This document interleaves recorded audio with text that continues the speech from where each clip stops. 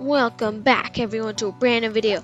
Today, this is a tutorial how to control your weather. Also, this could be used to find lots and lots of Tangle and Dervish slimes. So yeah, I'm just checking out. I'm trying to find some Tangle slimes. yes! Tangle slime.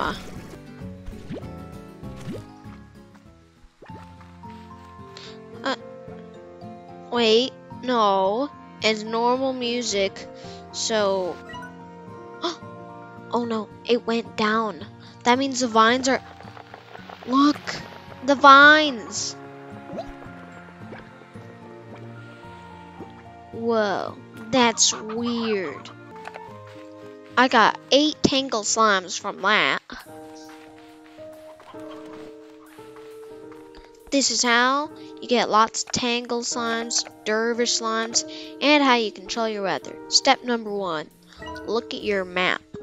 See, this, when you're hovering over a rainbow field or another island, it'll show this or several. Right now, Rainbow Island, or Rainbow Fields, Rainbow Fields. It'll have pollen with two up. Ember Valley is no no no unnormal weathers. Pinefall Bluffs just has snow because it always has snow. Starlight Strand is nothing. So only thing is snow and pollen.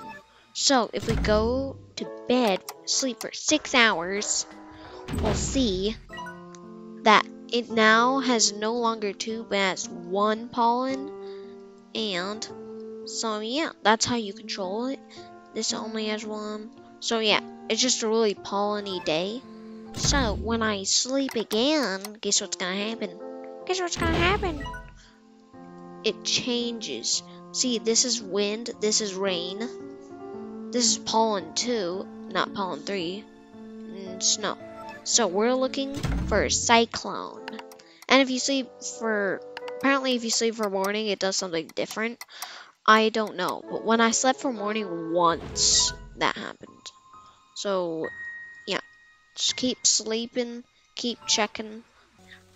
As you can tell, Ember Valley has pollen 3. So that is how you're going to be able to check everywhere for suspicious activities and weather. As you can tell, there because it says pollen 3, there's vines everywhere. So many vines, so many slimes.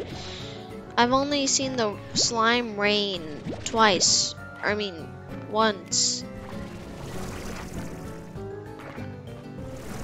So you just gotta keep checking for any tangle slimes. I'll check there later you want to keep an eye on the vines. That way they don't go anywhere. And that's how you get lots and lots of dervish slimes and tangle slimes. I recommend tangle.